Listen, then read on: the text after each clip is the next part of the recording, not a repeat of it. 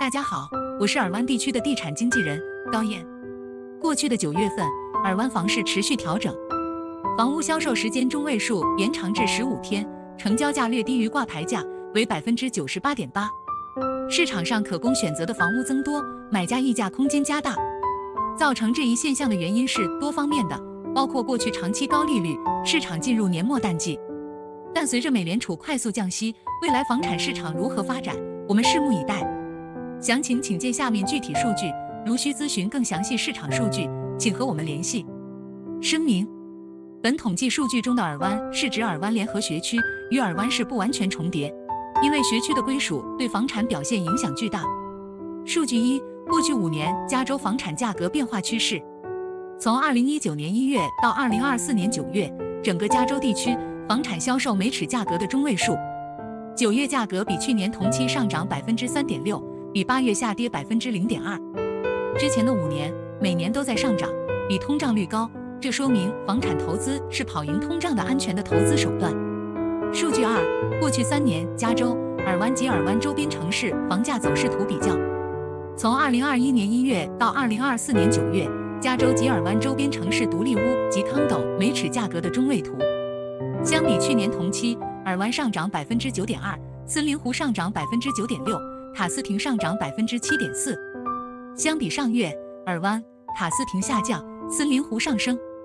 相比二零二一年一月，整个加州累计上涨百分之三十四，尔湾累计上涨百分之六十九点六。数据三：市场上可售房源变化。从二零二二年十一月，市场上可售房源持续处于低位，但过去四个月可售房源大幅度增加，比去年同期，尔湾上涨了百分之八十七点七。森林湖上涨了百分之三十点五，塔斯廷上涨了百分之二十。相比上月，尔湾可售房源增加二十八栋，上涨了百分之六点五。尔湾可售房源为过去二十三个月最高。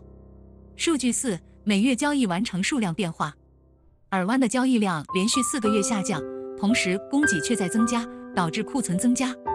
九月比上月，尔湾下降了百分之十一点六，森林湖、塔斯廷下降。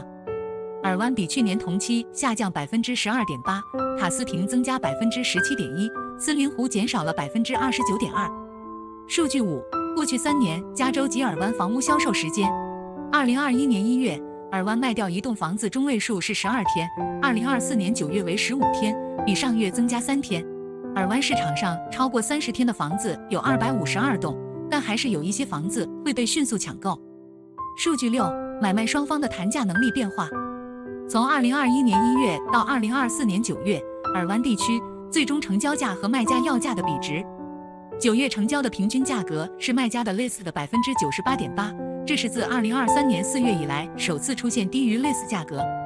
数据七，不同卧室数量房屋的每尺价格变化比较。相比较去年同期，两间卧室上涨百分之十一，三个卧室上涨百分之七点八，四个卧室及以上的上涨百分之十二点九。相比上个月，三间卧室户型上涨，其他户型都在下降。结论：由于房屋库存增加，加之年末的淡季来临，成交量和价格均下降，给买家提供了更多的选择机会。但是未来美联储持续降息和美国新房开工不足的情况，长期市场供给仍会紧张，因此市场走向难以确定。我是尔湾地区的地产经纪人高燕，我们认真专注，是房产投资的好助手。我们反应迅速。排忧解难总在您左右，大家如有房产需求，请联系我。